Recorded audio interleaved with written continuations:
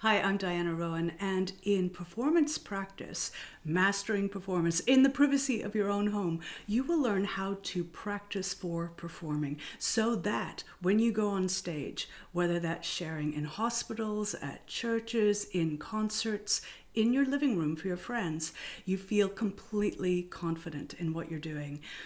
Now, most people don't learn how to practice for performance. And in fact, what they do, and what I used to do, is practice and learn the song and then just go on stage. But performing is a totally different mindset than we're learning how to master a song.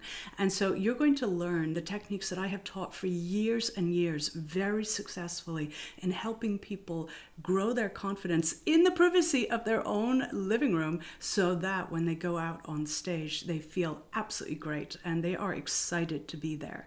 So join me for this. This also works for companions and public speaking as well. So you'll be learning these techniques that are very gentle and fun, and I think you'll love it. So come and join me.